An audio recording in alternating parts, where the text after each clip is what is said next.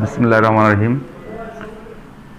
দীর্ঘ এক মাস সিয়াম সাধনার পর আমাদের পবিত্র ঈদুল ফিদর আসছে। আমি পৌরবাসীর পক্ষ থেকে,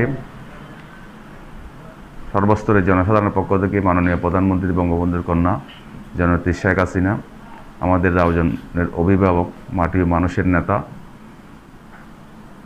শ্রদ্ধাভাজন জনাব A B M Karim Chowdhury MP মহোদয়, ওনার সুযোগ্য সন্তান জনাব ফারাজ করিম সহ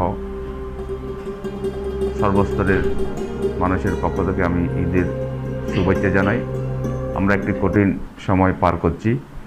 সারা বিশ্বে যেই করোনার প্রাদুর্ভাব, বাংলাদেশেও তার আমাদের মোকাবেলা করতে হচ্ছে। মাননীয় প্রধানমন্ত্রী জনতি শেখ হাসিনার সুযোগ্য নেতৃত্বে মহান রব্বুল আলমিনের অশেষ রহমত আমরা এখনও ভালো আছি। আমরা চেষ্টা করব, ঈদের সময় সবাই স্বাস্থ্যবিধি মেনে চলি, সরকারি নির্দেশনা যেন মেনে চলি। আমরা সবাই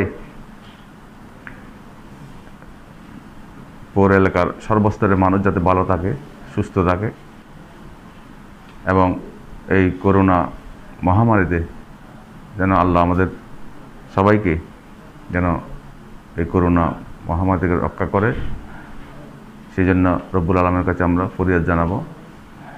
একটি সুন্দর পৌরসভা, আধুনিক পৌরসভা, জনগণের যে সেবা থেকে দীর্ঘদিন মানুষ যে বঞ্চিত ছিল, আগামী দিনে একটি সবাইকে সাথে নিয়ে একটি সুন্দর পৌরসভা করার জন্য কাজ করব। আমি সকলের সহযোগিতা কামনা করছি।